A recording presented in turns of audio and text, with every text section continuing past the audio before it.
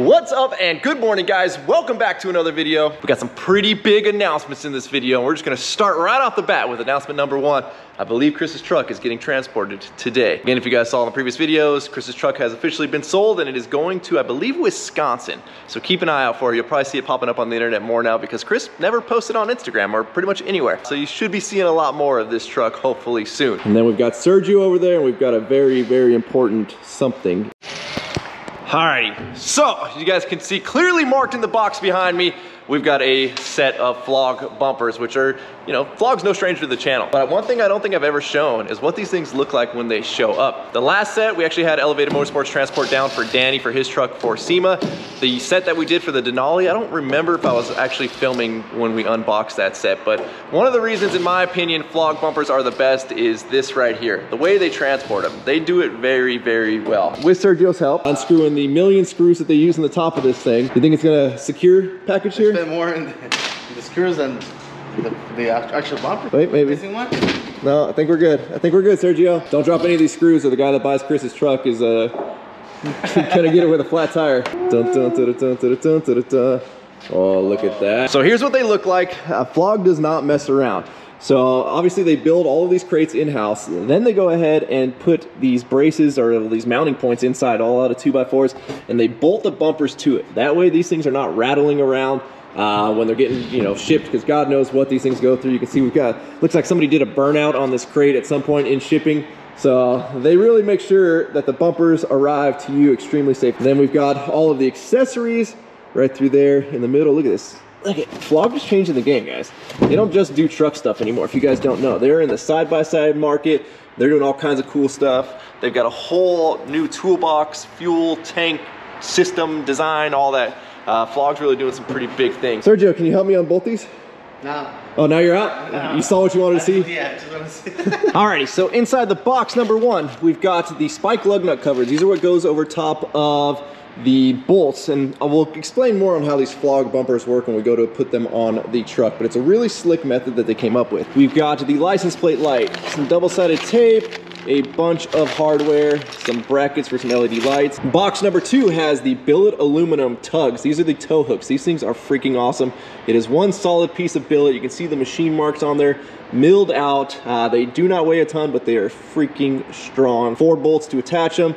Uh, these things are sick. We're actually gonna be powder coating those as well. And then box number three has a thank you letter with some painting tip. Also came with a sweet hat, bottle opener, and a pen that says made in the USA because Phlog bumpers are 100% made in the USA and some stickers. You guys know I'm a sucker for number one, a thank you letter, but I'm a sucker for a free hat. Now we aren't gonna unbolt these until we take them over to Swift. That way they're not rattling around and this is like the easiest way to transport them is as you see them. But there's gonna be certain parts that are gonna be getting powder coated black and then the rest of the tire shells are gonna be getting powder coated white. Now I made the mistake with my very first set of bumpers um, and I really, I was guided in the wrong direction. I went to a couple of paint shops and I was like, hey, I wanna get these painted. I was like, do you think we should get them powder coated first? And all the paint shops were like, no, that's not a thing. And then years later, now that's like a thing. I was a little bit ahead of my time apparently and people thought I was weird. But one of the things with aftermarket bumpers is there's a lot of inside corners and crevices and curves. And a painter is not really gonna be able to get in there as well as you might think. I mean, they can try, but there's gonna be runs if they really try to glob the paint on up in there.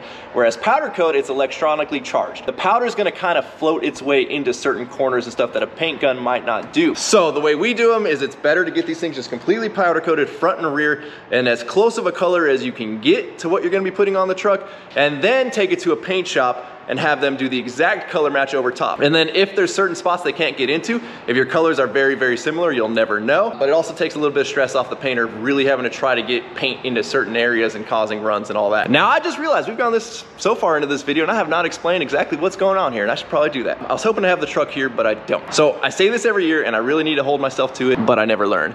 We are doing another last minute SEMA build. Uh, but we have a head start this time. We are officially going to be taking Papa Rhino's F450 to SEMA. Now I get asked all the time about going to SEMA and a lot of people want to go to SEMA and I always recommend getting a build manager. This year we are working with Elevated Motorsports. If you guys want, check them out on Instagram, check out their website. If you are interested in going to SEMA hit them up. Hiring a build manager is just the absolute way to go when it comes to SEMA because they take most of the headache out of the entire process. So if you're interested, I highly recommend doing it. When we built that truck, one of his dreams was for it to go to SEMA. Like he's saw my truck go to SEMA, he's seen all the other vehicles to go to SEMA. Uh, he was really excited about the idea of SEMA. We just never ended up taking it. I don't remember. Actually, we did the Bronco last year. I think that's why. But for whatever reason, we didn't take it. And I'm not a big fan of taking trucks we've already built to SEMA. Because I like to kind of debut new stuff that we do, mainly for the channel, not so much for the people at SEMA. Um, it's mainly for you guys. We have an opportunity this year to go with our homies at Phlog uh, to SEMA. So I figured, you know what, let's do it. Let's take the 450, let's make Papa Rhino's dreams come true, get to do some more cool stuff to that truck. But like all my dumb ideas, we have zero time to do it. Thankfully, these things showed up today. That's why I'm not, they're going straight to powder coat and I should probably stop talking to take them to powder coat right now. Because once they're done with powder coat, then they gotta go to paint. Uh, we've got full interior getting done for the 450, lighting. Uh, we've got a really cool surprise that's going in the back of the truck that I'm not gonna tell you guys about. But we really don't have any parts except for bumpers yet.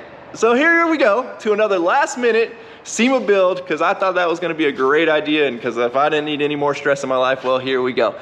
So let's see if we can pull it off again this year.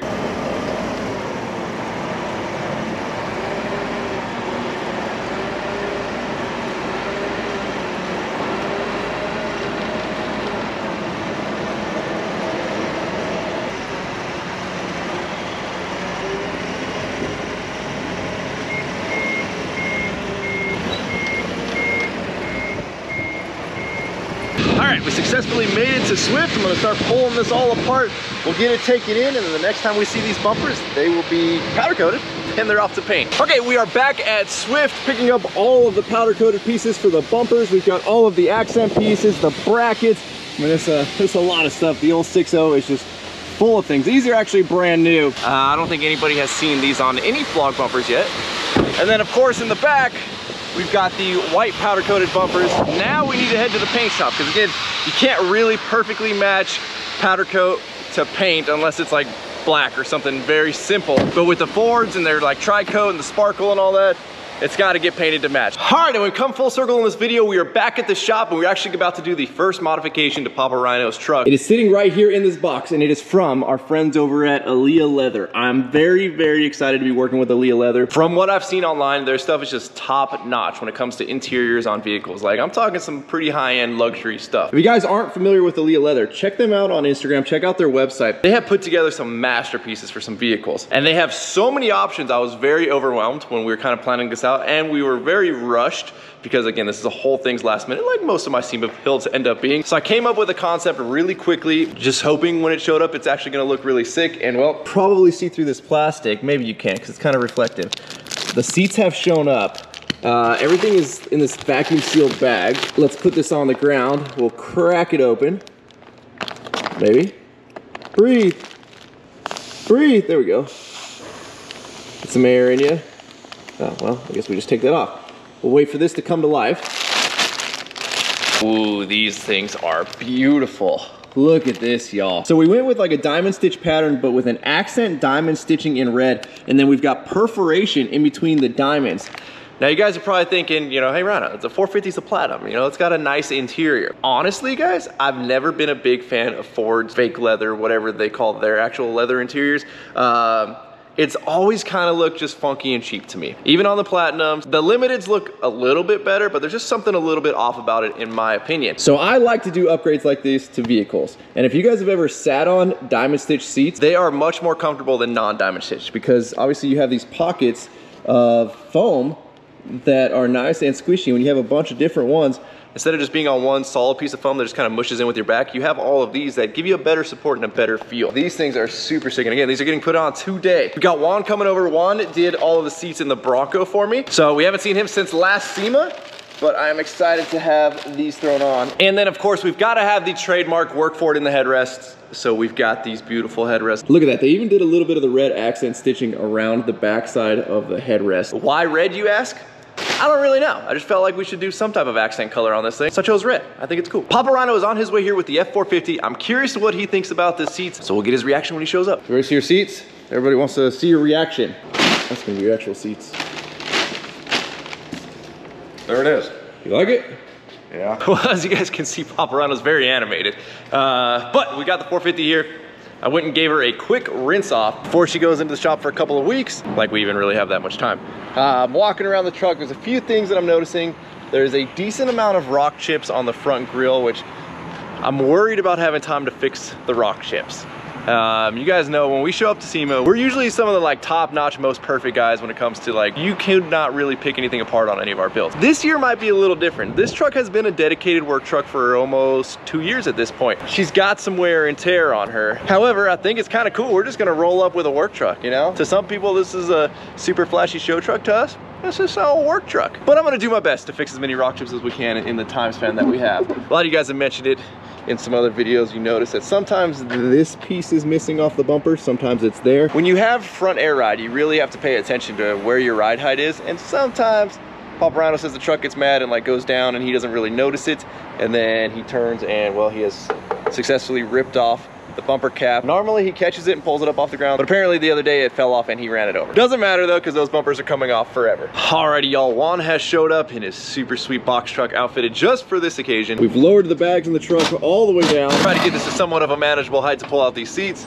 Juan is gonna go ahead and remove all of the seats. This guy's a master at doing this. He makes it look so easy. I think we pulled the Bronco ones out in like 10 minutes with the lift in the way. A little nicer outside, huh? Way nicer. We got a little more room to work.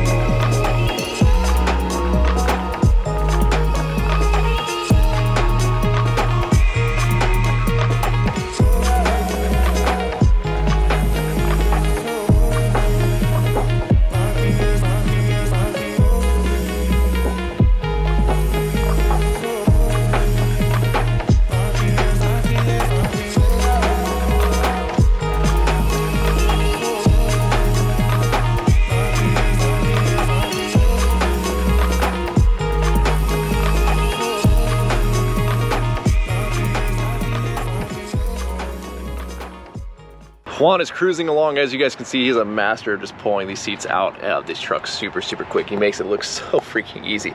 Uh, we've got the front seats already done. As the truck kind of sits and heats up and goes through a couple of heat cycles, all of the leather will tighten up a little bit. You can see it's got a little bit of some folds and stuff. He goes through and steams everything, so you'll if you notice any water or anything like that on the seats, like right there, it's from where he goes through once he installs them, he steams everything, and then again, as everything kind of dries up, most of the wrinkles and the folds and all that should go away. He is now moving along to getting the back seats done. Oh, look at that little, little baby subwoofer back there. I think these things look freaking awesome though. Like huge, huge upgrade from the factory Ford stuff. Check out this pretty slick little setup he's got for getting these uh, headrests on, because these things are a pain in the butt. So it puts that plastic bag over it, creates suction to shrink down the foam with a vacuum. Shoot, that one you don't even have to, huh? Slipped on. yeah, that, that one was an easy one. We can jump in there real quick. Oh yeah.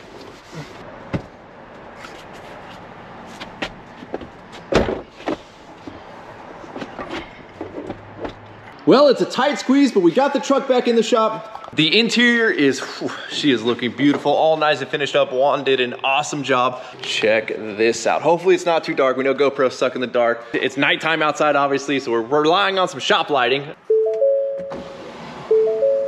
There we go. Let's get a little, little bit of light in here. Check the beautiful interior out, guys. This looks so, so sick. I am absolutely in love with this. Turned out freaking awesome. Look at the back seats. And again, I'm sorry it's so dark in here. Let's see if we can do a little, little phone light. Does that, does that do anything? Or probably doesn't do anything at all. Uh, but yeah, these seats turned out awesome. Again, a huge thank you to everybody over at Alea Leather for getting these all made up for us in record time. Now, one of the things Juan noticed when he was installing these is on the sides, he said they used half inch material. He said normally most seat companies in the centerpieces they use a half inch because that's where all your weight is and then they use like thinner quarter inch stuff on the sides. To me that would mean being that you have half inch on the sides as well, you're not gonna get those like gnarly, destroyed, creased, looking like crap edges when you're where you hop in and out of that you see on most vehicles driver seats. We are gonna leave this out in the sun for a day or two, let the cab heat up and then that's gonna shrink everything back down from the installation process. These things turned out fan freaking tastic. Oh, I'm just excited to have one thing done on this vehicle already. And I say already like we have a bunch of time, but we don't have any time. And because we haven't seen him on the channel in a while, Chris, everybody's been asking about you. How are you, buddy? I'm doing good. How you feeling now that you uh, you sold your truck, man? How's it feel? Pretty sad, man. Pretty sad. I miss her. You want to buy her back? Yeah, Oh, okay. half the price. Or maybe buy new one. Oh, okay, okay. If anybody's got any suggestions of what you think Chris should get, make sure you guys leave it down in the comments below. Maybe take it to see him. Oh, you want to do a SEMA build next year? How's it look? Nice. Primo? Professional. Slam that thing with authority, huh? Alrighty, y'all. So here's to kicking off another last second SEMA build. You ready for the stress?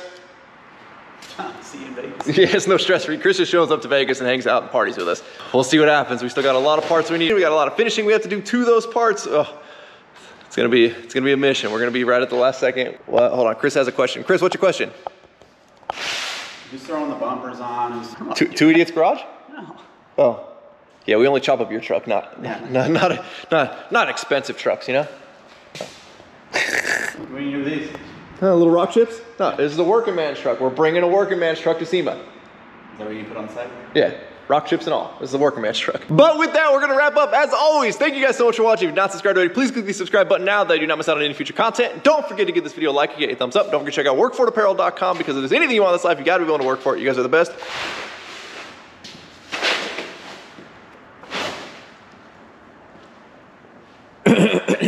Chris!